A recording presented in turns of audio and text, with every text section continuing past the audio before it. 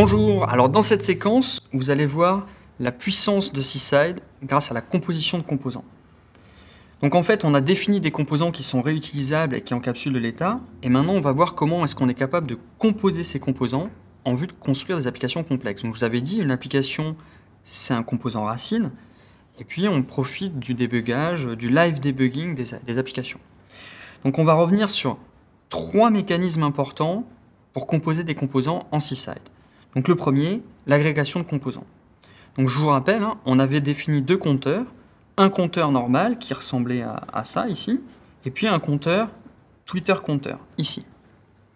D'accord? Donc comment est-ce que je pourrais maintenant agréger un composant compteur en vue de construire une application multi-compteur? En fait, je voudrais afficher plein de compteurs sur une page, et puis quand je clique sur ce plus-là, par exemple, que ça incrémente la valeur de ce compteur et pas d'un autre. D'accord? Donc agréger comme ça plein de composants sur une même page, facilement. Donc comment est-ce qu'on fait ça en Seaside C'est extrêmement simple. En fait, je vais définir une sous-classe de composants, toujours pareil, donc qui s'appelle WA multicompteur, une variable d'instance, counters, qui va définir une collection de compteurs. Dans la méthode initialize, je vais créer une collection de 5 compteurs, ici. D'accord? Et puis, je vais avoir la méthode renderContentOn, ici, où je vais dire, je vais parcourir ma collection de compteurs avec un do, et je vais demander à chacun des compteurs, enfin à l'objet HTML, de rendre chacun des compteurs. Donc j'utilise une méthode particulière ici qui est render. Donc cette méthode render de l'objet HTML euh, permet de demander à un composant de se rendre, de se dessiner en HTML. Et on a une méthode importante ici qui s'appelle children, c'est-à-dire qu'un composant, lorsqu'il encapsule d'autres composants et qu'il leur demande de se rendre dans sa méthode renderContentOn, il doit les déclarer. Et pour les déclarer, il doit leur rendre une collection de composants dans sa méthode children qui contient tous les composants qu'il va rendre, tous ses enfants en fait. Donc ici, je rends bien la collection counters. Donc c'est une méthode importante à définir. Donc les règles de base pour agréger des composants, pour composer des composants, c'est facile. C'est un composant va stocker ses sous-composants dans une variable d'instance. Donc nous, dans notre exemple, c'était counters. ok Ensuite, il va envoyer le message render à, HTML dans sa méthode renderContentOn au paramètre HTML en demandant à chacun de ses enfants de se rendre. Et puis, il va redéfinir la méthode children pour déclarer l'ensemble de ses sous-composants. Donc, il y a toujours ces trois volets-là. Donc on peut aussi agréger des sous-composants différents. On n'est pas obligé d'agréger des composants du même type. Là, j'avais agrégé que des compteurs. Et maintenant, on va avoir une application, enfin un composant myApp. Dans la méthode initialize ici, c'est une collection, sauf que dans cette collection de composants, j'ai mis l'application greeter qu'on avait mis dans une séquence précédente, qu'on avait vu, un Twitter compteur et un compteur. Donc trois composants. Ma méthode children rend bien tous les sous-composants de ce composant-là myApp, et dans renderContentOn, je vais bien parcourir l'ensemble de mes enfants et demander à ce qu'ils se rendent. D'accord? Donc faire HTML render each. Donc je vais faire HTML render du greeter, du Twitter compteur et du compteur. Donc voyons ce que ça donne. Donc en fait ici on a bien le composant greeter qui s'est affiché sur la page web. On a le Twitter compteur qui s'est affiché ici et on a le compteur normal qui s'est affiché ici. On a bien composé des composants et ils, fonctionnent tous indépendamment. Si je clique sur les plus, les sayello, etc., les composants fonctionnent parfaitement. Donc maintenant, si on veut aller encore un petit cran plus loin, on ne voudrait pas afficher tous les composants d'un coup sur la, sur, la, sur la page web. On voudrait qu'il n'y en ait qu'un qui s'affiche à l'instant T et afficher un menu, par exemple, pour sélectionner quel sous-composant on veut afficher. Donc typiquement, je voudrais afficher juste le greeter et quand je clique sur Twitter Counter, ici, ben, je vais afficher que le Twitter Counter dessous. Donc comment faire cette application? Ben, C'est facile. Je vais rajouter une variable d'instance dans mon application MyApp qui va s'appeler le composant sélectionné, quel est l'enfant qui a été sélectionné. Par défaut, je vais l'initialiser au premier sous-composant. Dans ma méthode renderContentOn ici, je l'ai modifié. Je vais afficher un menu qui va me donner la possibilité de sélectionner quel sous-composant je vais afficher. Et puis, je vais faire HTML render, mais seulement du sous-composant que je veux afficher, tout simplement.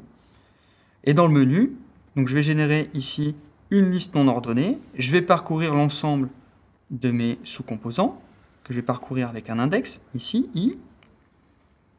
et je vais générer un élément de liste pour chacun des enfants. Donc ici, je vais générer une encre. Vous voyez, donc c'était un lien, cliquable. Et quand je clique sur ce lien, ça va déclencher le callback, l'exécution de ce bloc, ici. Donc on va dire, c'est facile, le composant sélectionné par l'utilisateur, c'est l'enfant numéro, donc self children, je vous rappelle, hein, c'était une collection, at i. D'accord? Et i, ici, c'est ni plus ni moins que le numéro de l'élément dans la collection children. Donc il est extrêmement facile euh, de, pouvoir parcourir l'ensemble des sous-composants et de générer spécifiquement ce qu'on veut, de contrôler complètement qui doit s'afficher et qui ne doit pas s'afficher. Donc on va voir un deuxième mécanisme de composition qui est le call answer.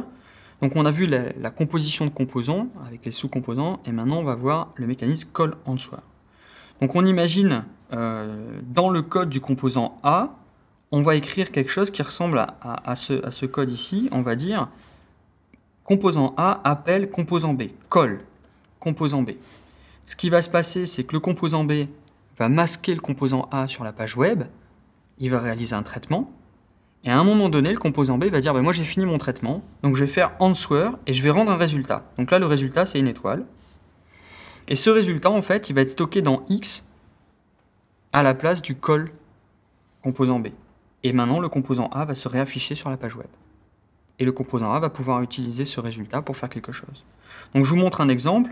Donc ici, on a un premier composant, d'accord, qui était le, compteur. On lui a rajouté un bouton, ici, setValue, et on imagine que setValue, ça offre la possibilité à l'utilisateur de rentrer une nouvelle valeur pour le compteur. Quand on clique sur ce bouton setValue, il y a un nouveau composant ici qui est affiché, qui permet de rentrer, donc c'était un peu comme le composant greeter qu'on avait vu avant, on peut rentrer une nouvelle valeur pour le compteur, cliquer sur le bouton OK, et quand je clique sur le bouton OK, ça revient un autre composant compteur, mais avec la valeur ici qui avait été rentrée par l'utilisateur au début. D'accord? Donc on a bien un enchaînement de plusieurs composants. Comment est-ce que c'est implémenté? Donc on a notre composant Twitter Counter qui a sa méthode render content on. Dans sa, méthode, dans on va rajouter un bouton, un TBS button, etc. Ce bouton il s'appelle setValue ici. Et quand on clique sur ce bouton, c'est ce callback qui va être exécuté. Donc c'est la méthode setCountToUserValue. SetCountToUserValue est définie ici. Et ce qu'on fait, c'est qu'on va préparer ici une boîte de dialogue.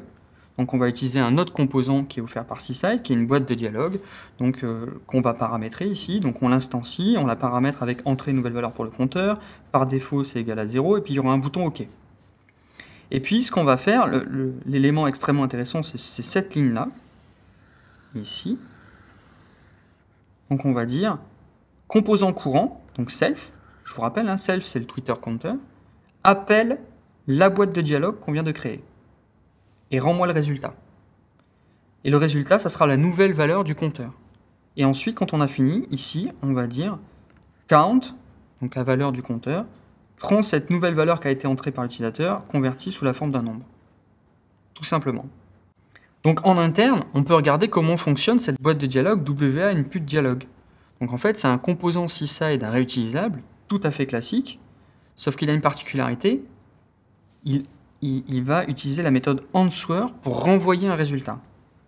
Donc en fait, si on regarde sa méthode render content on, à ce composant-là, lui, quand on clique sur son bouton OK, donc ici, son submit button, il a bien un callback avec un bloc, et dans son callback, il va faire self answer value. Et donc ça veut dire que ça, ça va renvoyer le résultat au composant qui avait fait un call sur lui. D'accord? Donc ça va vraiment revenir à l'endroit où le call avait été fait et renvoyer le résultat. Donc on a vu le mécanisme call answer, maintenant on va voir un dernier mécanisme de composition de composants qui est celui des tâches, des tasks. Donc en fait, c'est très simple. Les tâches, c'est comme des composants, sauf qu'il n'y a pas de partie graphique. Donc il n'y aura pas de méthode render content on, pas de génération de HTML. L'idée, c'est vraiment de venir orchestrer, euh, de venir euh, décrire comment des composants doivent s'exécuter dans le temps. Bah, d'abord, ce composant-là fera ça, et ensuite celui-là, etc., etc., en utilisant des call answers euh, cachés derrière. Donc on va définir une tâche qui s'appelle un adder, et puis toutes les tâches ont une méthode qui s'appelle go. Et ici, par exemple, dans cette tâche, on va dire, ben, on va demander à l'utilisateur de rentrer un nombre, donc self request number 1. Ensuite, on va lui demander de rentrer un deuxième nombre, self request number 2. Et ensuite, on va l'informer euh, d'une valeur qui est l'addition de ces deux nombres, ici. D'accord? Et la, dernière ligne, on enregistre cette, ce composant comme une, application, euh, comme une application web classique pour pouvoir y accéder avec un navigateur. Donc, si on regarde en interne, en fait, la méthode request, comment est-ce qu'elle est implémentée? La méthode request, in fine, elle utilise, on voit en interne, call et answer. Donc si on revient à l'exemple précédent, on voit bien qu'au moment où on a fait request ici, à l'intérieur, ça revient à appeler un autre composant, et pas n'importe lequel, le composant WA input dialog, à afficher les chaînes de caractères qui vont bien, et puis ce composant va rendre le résultat à celui qui l'avait appelé. En l'occurrence, qui est-ce qu'il l'avait appelé? Notre composant adder. Donc il va bien récupérer une valeur dans value 1. La même chose pour value 2. Et ensuite, dans le inform, si on regarde, bah, le inform, comment est-ce qu'il est implémenté? Lui aussi, il utilise un call answer, mais sur un autre type de composant, qui est un form dialogue. Donc ici, on fait self call form dialogue. Donc on va afficher une chaîne de caractères à l'utilisateur avec un bouton OK pour dire OK, il a bien vu la, la chaîne de caractères.